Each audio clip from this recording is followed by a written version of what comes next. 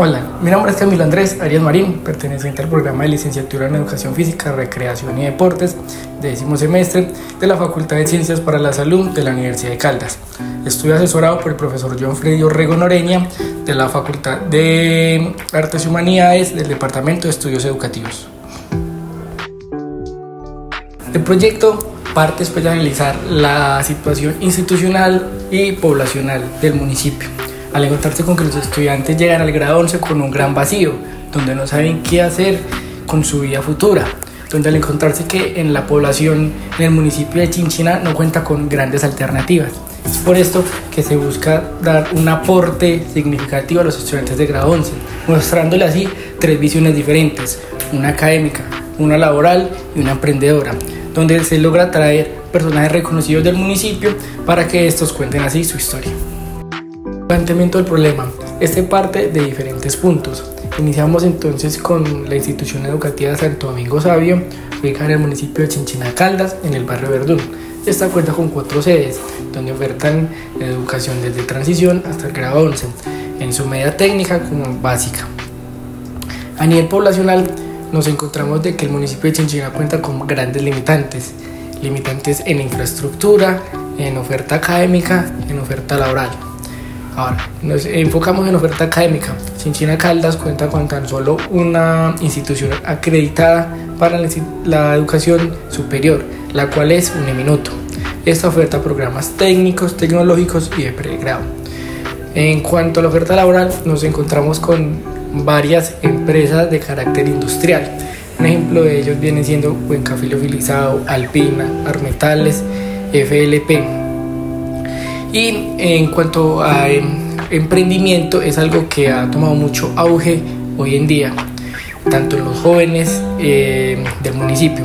Es por ello que vi la necesidad de aportar y de tomar esas tres dimensiones eh, para así llegar a los estudiantes y darles una visión general. Cuatro los objetivos tenemos. Objetivo general, aportar al proyecto de vida de los estudiantes de la institución educativa San Domingo Sabio del municipio de Chinchiná. Los objetivos específicos tenemos un paso a paso, donde son cuatro.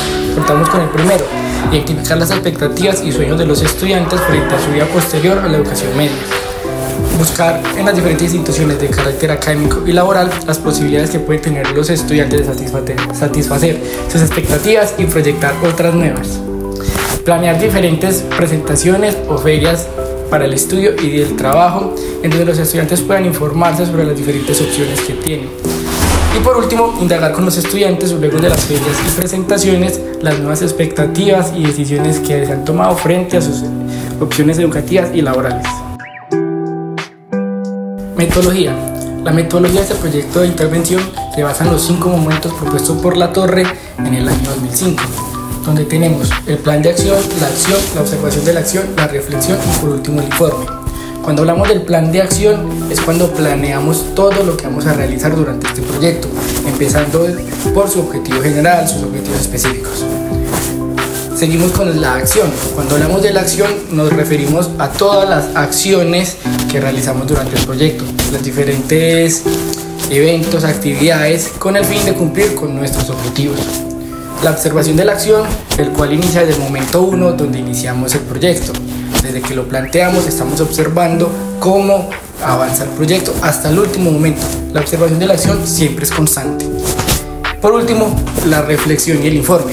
La reflexión, al igual que la observación de la acción, empieza desde el primer momento hasta el último momento, donde voy reflexionando, recapitulando, recolectando toda la información y por último lo convierto en un informe que es aquí donde les estoy hablando.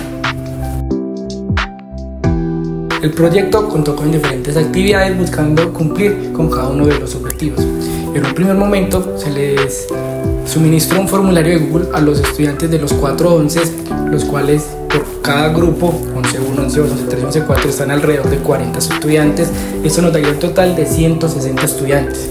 Se les suministró ese formulario de Google donde ellos tenían que responder ciertas preguntas donde decían cuáles eran sus expectativas, cuáles eran sus sueños, en qué se sentían fuertes, cuáles eran sus debilidades. De estos 160 estudiantes tan solo tuve 77 respuestas.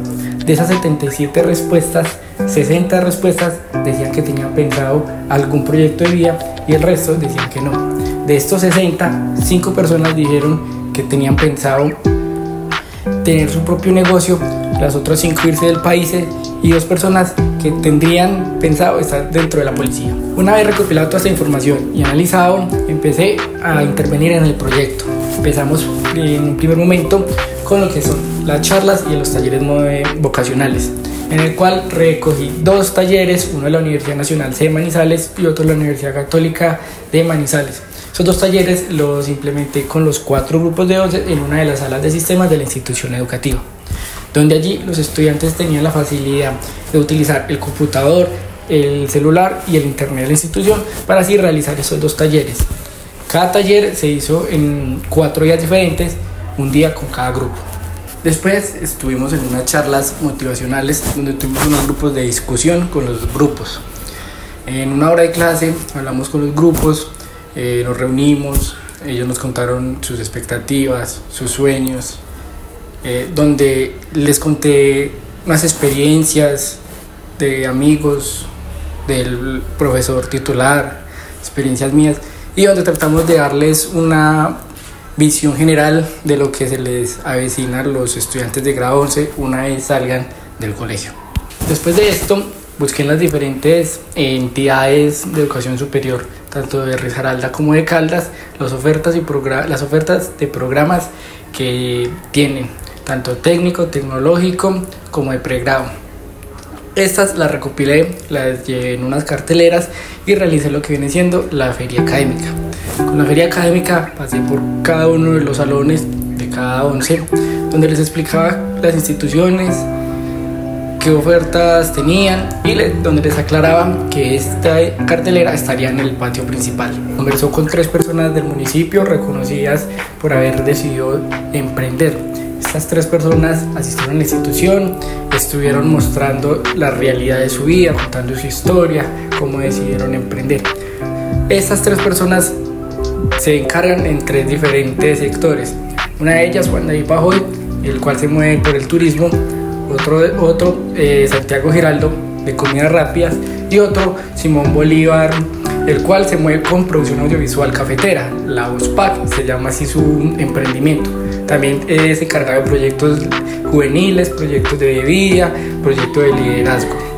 Es, tanto Simón como Santiago son egresados de la institución, por lo cual le dio un plus diferente a esta feria.